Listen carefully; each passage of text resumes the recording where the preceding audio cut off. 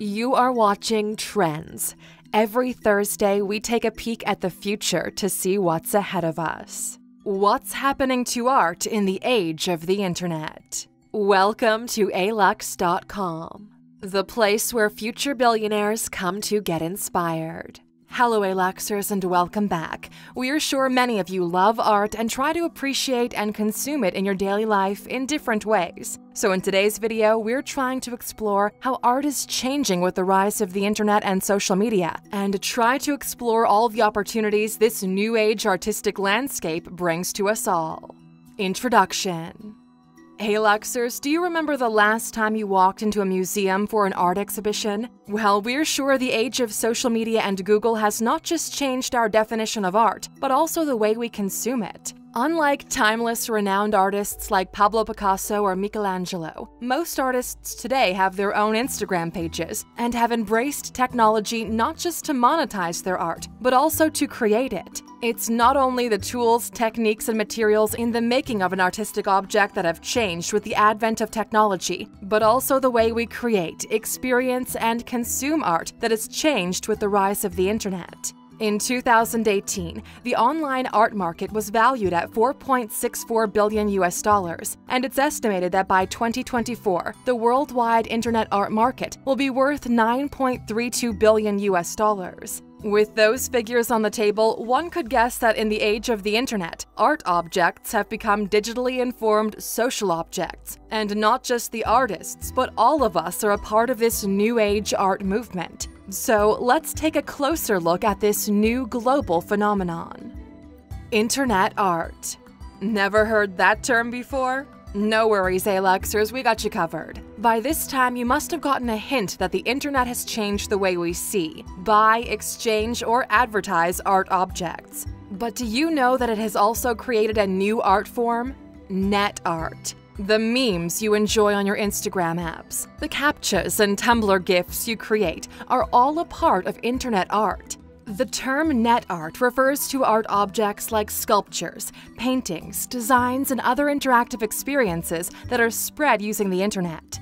The art as we know worldwide is an expression of life, typically in a visual form like paintings or photographs, even sculptures or carvings. Artists have always been famous for depicting the global phenomenon and peculiarities of the period or place they live in through their art. At present, we're living in the most exciting times in a post internet world, and no wonder the new age artists are embracing the same technology and depicting it in every way possible through their art forms. Now, let us try to understand who these artists are and what they're trying to do in their pursuit of internet art. Artists in the Internet Era as we mentioned earlier, there are numerous artists worldwide who are using the internet as a medium for spreading their art, and all of them are doing some kind of trailblazing. But there is one artist who has literally transformed the internet into his own art gallery. His name is Rafael Rozendaal, and he truly believes the internet is his stage and loves the idea of owning his art while simultaneously sharing and monetizing it online. Rafael has created numerous art objects in the form of domains on the internet and has also been successful in selling them and renaming the domain title after the collector's name with the condition of keeping it public. One of his famous internet art forms is Jello, which can be moved in any direction just by clicking a mouse. Amusing, right? Well, Aluxers, you might also be amazed to know that just like art, the way of exhibiting it has also changed with the internet era. Many artists in Europe participate in BYOB exhibits, which stands for Bring Your Own Beamer. In these exhibits, the artists bring their own digital screens or projectors and display their art out on the streets or walls of buildings. Even Google Street View has been used by these new age artists as a medium to showcase their art. Moving forward in the post internet art, artists like Shezad Dawood are also using virtual reality as a medium to present their art forms. Shehzad has created a virtual reality installation of a West Bengali town Kalimpong, situated amidst the Himalayan mountains. This VR installation has been featured in various art galleries around the world and is a classic example of creating human and digital interaction through art objects. And on that note, Aluxers, we know you guys love to explore, and there are several art galleries worldwide which are dedicated for digital and post internet art. And we bet you'd be delighted to visit them while exploring various parts of the world. And as always, we're sure you want to stay connected while you capture these digital art forms in your lenses. And that's why we recommend using a VPN. It's a super easy to use piece of software that protects your data online so the government or other companies can't spy on you and you can enjoy the internet internet you know and love. We joined up with the great folks at NordVPN to bring you an amazing offer. If you go to alux.com slash VPN and sign up using the code ALUX, you'll get 75% off a three-year plan and a full month for free to see if you find it valuable. Protect yourself online today by going to alux.com slash VPN. Artists, their art, and social media. All of us use social media to connect with people related to our field and to promote our work. Artists are no exception to this. Well, in the age of Instagram, a lot of us think we're artists. But we know you Aluxers are smart enough to figure out the difference between a professional and a rookie. Apart from Instagram, Facebook, and Pinterest, there are also several social media sites like DeviantArt, which are dedicated to artists and enthusiasts so they can create their portfolios, share their artwork, and develop their community online. These sites are helping blooming artists to stay connected to the latest trends and advancements in the field of art, and also be inspired by the established professionals. Many of these sites also offer courses for beginners and enthusiasts to hone their multimedia and graphic skills. Copyrights for Internet Art the biggest threat for an artist is always the infringement of their copyright, and in the world of the internet and other digital devices, this threat becomes even more obvious. There are numerous websites which sell replicas, morphed forms of famous paintings and other art objects online, and the naive customers fall prey to these traps. Now, even though individual artists cannot stop such black market art sales, they can definitely make sure that their art, even though in digital form, is copyrighted and protected by laws of their land.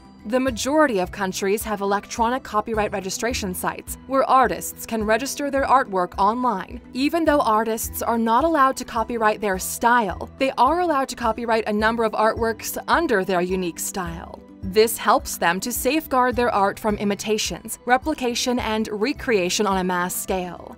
It's at the artist's discretion to decide which of their artworks needs to be copyrighted, since not all artworks have the same value or are easily replicable. So, Aluxers, the next time you Google search a Mona Lisa, we're sure you're wise enough to understand that out of most of those multiple paintings that pop up on your screen, none of them is the original painting from the Louvre Museum. Challenges and threats. In today's world, with the rise of technology, smartphones, and social media applications like Instagram, the boundary between the professional artists and the hobbyists is increasingly thinning. We're sure many of you are using graphic software like CAD and Photoshop at work in your personal life for modifying or recreating your own work or someone else's. Today, many professional artists use Photoshop, and sculptors are using modeling software. These technological advancements are aiding both professionals and hobbyists in their pursuit of art, but they are definitely changing the perception of an educated viewer.